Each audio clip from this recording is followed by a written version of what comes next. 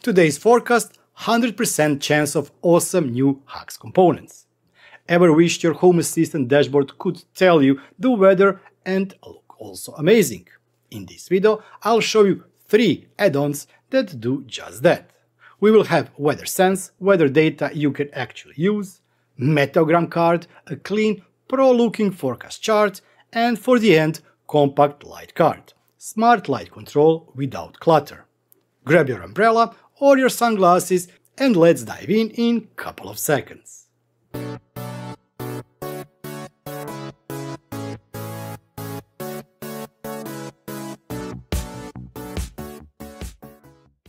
First component we are installing today is called HA Weather Sense. This component takes existing entities, for example, temperature and humidity, which are mandatory entities. Then if you already have access to, for example, pressure, wind speed, and also the solar radiation, you can also use those entities to create a new entity that will tell you how the air is feeling either inside or outside of your home. In this example, I have two entities. One is for the indoor and the other one is for the outdoor values. We also have option to use attributes. So for example, for the outdoor, it currently says strong heat stress because the real feel feels like 36.5 degrees centigrade. And for the indoor, it just say warm. This is a short description from the attribute because indoor feels like is 26.2 degrees centigrade.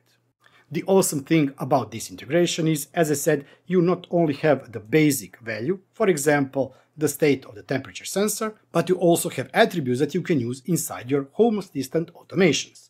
For example, comfort level, is it warm, or is it comfortable, true or false. These can be triggers for your existing automations or scripts. Let's proceed with the installation. First of all, if you do install this component, don't forget to hit the star to say thanks to the author. For the installation, let's go down. This component is still not officially part of the HACS, so what we will need to do is either press this button to be transported to Home Assistant, or copy this link, this one here, and then inside Home Assistant, click on three dots, Custom Repositories, paste the URL and select Integration as type. Click on Add, it should be automatically added, close it, and type in Sense for the Weather Sense or Home Assistant Weather Sense. Click on it, click on Download, download, and since this is an integration, we will need to restart our Home Assistant. While Home Assistant is restarting, let's go back to the documentation and check what we need to do for the configuration. There are some prerequisites, but most of them you should already have in your Home Assistant setup. For the configuration, we will need a couple of entities inside our system. Some of them you probably already have, others you can outsource from the external services, while others they are optional and if you have access to them you can use but they are not mandatory. We will need the temperature sensor and humidity sensor. You can create multiple integrations or you can create multiple entities or sensors out of this integration. For example, one can be indoor and the other one can be outdoor. Of course, for that you need to have indoor temperature and humidity and or outdoor temperature and humidity. I do have both of them, so we will be creating first indoor and then we will try to create outdoor one with additional sensors such as wind, pressure and unfortunately I do not have solar radiation. Home Assistant is restarting, so let's go to Settings, Integrations, click on Add Integration and type in Sense for Weather Sense. Okay, if you want to create only one sensor, for example the indoor sensor, you can leave this as feels like temperature. But since we will be creating multiple, I will add indoor feels like temperature. Then we will need to select all of the entities. And this is what it looks. The sensor name is indoor, we have temperature and humidity, we do not have indoor wind sensor, so no wind. For the pressure, if you have sensor that has it, you can use that one, but unfortunately I do not have, and I also do not have solar radiation. This is not outdoor conditions and I want to display everything in Celsius. Click on Submit. Select an area, dining room, finish. We now have one sensor, indoor feels like 26.2. Comfort level is warm, comfort description is moderate heat stress, explanation is caution fatigue possible with prolonged exposure. Calculation method is indoor, there we have temperature, humidity, not an outdoor sensor, date and time, is it comfortable, attribute, and also temperature and humidity. These can be used, for example, for your automations. If this is comfortable, let's say true, then for example you can turn off your AC. If it changes to false, then you can have automatic change in temperature of the AC or something similar. So this is awesome if you want to automate your home, not just based on the values, for example 22 degrees centigrade or whatever Fahrenheit. Instead of that, use the comfortable feeling. Is it feeling good or not? Let's go back to weather sense and let's add entity for the outdoor sensor. The sensor is configured, we have outdoor fields like temperature, with outdoor temperature, outdoor humidity, wind speed, I do not have pressure sensor, nor do I have solar radiation. These are outdoor conditions and the temperature is displayed in Celsius. Click on submit and finish. Comfort level is hot, strong heat stress, extreme caution, heat exhaustion possible. Calculation method is Steadman apparent temperature. This is the temperature, humidity, outdoor, comfortable not, degrees centigrade, humidity is percentage, wind speed and the wind unit. That's it. But as I said, the values are great, the descriptions are awesome, but these are the values that you can then add to your Home Assistant inside automations or scripts. Or you can of course add them to UI, click on plus, for example tile, feels like, add indoor temperature, for the features, we can for example add trend graph, which we do not still have because yes, this is a new entity. Layout can be full and same can be done for the outdoor sensor. Feature once again, let's add trend graph, layout, extend this and click on save. Now inside the UI you can have the values, but you can also for example pull attributes, such as for example like this. For example use comfort level, description, or something similar. And yes, even those can be pulled inside the UI of Home Assistant. Remember, if you do end up installing this component, don't forget to give it a star so that the author knows that this is really an awesome component and that people are using and loving it. The next card we are installing today is this awesome weather card, Meteogram. It allows that at a glance you see the weather forecast, cloud coverage, temperature, pressure, rain, snow if any, for a couple of days in advance. And best of all is that, for example, if your Home Assistant doesn't have all the data, it can automatically or automatically go to met.no and via the API based on your longitude and latitude pull the data for your location. In this case, we see we have partially cloudy, then we have cloudy, then the clear night with the moon, then the clear morning, again partially cloudy, cloudy, information about the temperature, pressure, wind for the next 48 hours. Everything is customizable, you can have more icons, less icons, you can enable or disable some of the entities and create your perfect meteogram for Home Assistant. Let's proceed with installation, but as always, if you do find this integration or card interesting, don't forget to give it a star to say thanks to the author. How does the installation look? We actually do not need to do anything, this should be part of the Home Assistant HACS store. Inside HACS, type in Meta. For the Lovelace Meteogram card, click on it, click on Download. The version 2.1.0 is the latest version at the time of the recording. Download, and since this is a card, we just need to reload.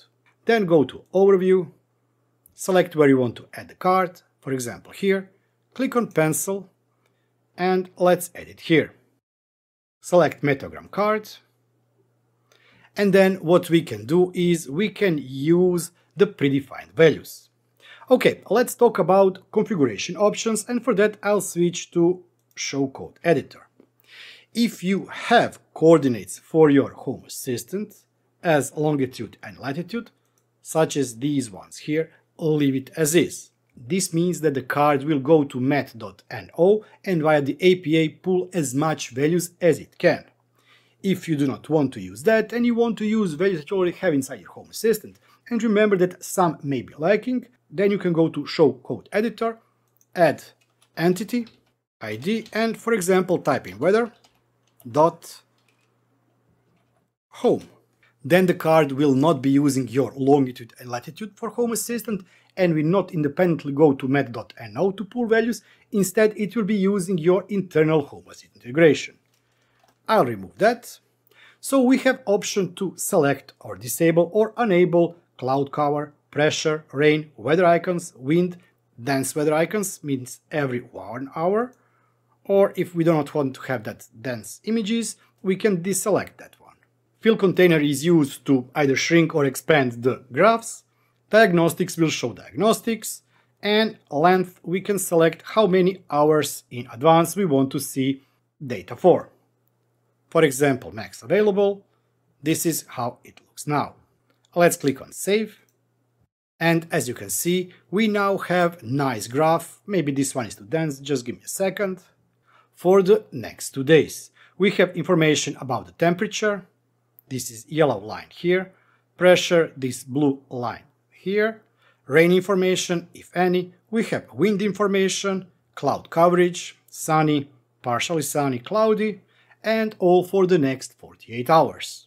This is an awesome card. Remember, this is card, not an integration, so you will not be able to pull any values out of the card. You can just use it to display it on your UI. Especially if, for example, you have nice tablet on the wall, this is an awesome, awesome, awesome graph that you can have on, for example, half of the display. Once again, don't forget that if you do end up installing this card inside your Home Assistant to say thanks by at least hitting the star on the GitHub repository. The next card we will be installing today is this custom light card. It allows you to customize the light entity so that it's easier to control it for example on the mobile devices, touch screens or even PCs where you can drag and drop the scale or the bar to control the intensity and the state of the light. Of course you can just turn it on and off, but also if you need, you can click on the arrow and open this extra menu, the standard Home Assistant menu. As I said, this is a nice card if you want to customize how your lights look inside the UI. But enough talk, let's proceed with installation. This one, the card is already part of the HACS, so you do not need to go to GitHub repository, but actually you do because you do need to give it a star. Click on star to say thanks to the author. As I said, this component is part of the HACS, so we will not be needing to do anything or copy anything. We just need to go to HACS inside Home Assistant and search it there. Search for Compact Light Card, click on it, click on Download, the latest version of the card is version 0.5.2, download, and just reload when asked to do so. That's it. Now let's go to Overview, select wherever you want to add the card, I'll be adding it to HACS, scroll, click on Add, type in Compact, for compact light cards, and we are presented with the YAML configuration. Unfortunately, this is something that will need to be added in the future, but until that is added, we need to use YAML. And because we need to use YAML, let's look at what are the options. We have option to name it, primary color, secondary color. Do we want to enable glow, false or true? Icon border is true or false. Icon border color, card border, card border color and off colors. If you are switching between the light and the dark mode, for the off colors you can add light and dark version, and also for the chevron action you can add action URL. These are of course standard Home Assistant actions, more info toggle navigate URL or something else. Let's customize this. Bed for the bed light. It is currently off. And if you want, we can add some other customizations. I've added glow to false, it can be also true. We've added primary color, secondary color, icon border is true, and card border is true. For example, we can change it to false, false, so we do not have any borders, and let's click on save. We can toggle the light on and off, but we can also drag it to change the color intensity. We can turn it off, and if we press on this arrow, we will open the menu where we can do everything we would do with the normal light entity inside Home Assistant. Or if we enable border, it will look something like this. And this card will work awesome if you for example have tablet on the wall or are using mobile devices to control the lights, because you can easily click and drag to select the intensity of the light. And this is it for yet another Home Assistant HACS video. I really do hope that you did find something interesting. Either this integration that will help you see how the climate is inside or outside your home, or one of these two cards. If you do install any of the cards, don't forget to say thanks to the authors. And by the way, if you are author of the component or you yourself have found an excellent component on the internet, don't forget to drop me down the link in the comment section below. And yes, if you did like this video, smash that like button because it really means a lot also to me. If you have any kind of comment, question or suggestion, you are more than welcome to leave it down in a comment section below. And as always, before I wrap up the video, it's time to say thanks to all those wonderful people that are supporting me and that have become YouTube channel members. Thank you all for all of your support. But let's not forget each and every one of you who has watched, shared, liked or commented on my videos. Thank you. If you too want to support the channel, you can do so by becoming a YouTube channel member for only 2 euros or $2 per month. Or you can go to my merchandise store and find something there. Last but not least, you can always send me super thanks and I will be super thankful for that. I will be seeing you next time. Until then, bye bye and have fun.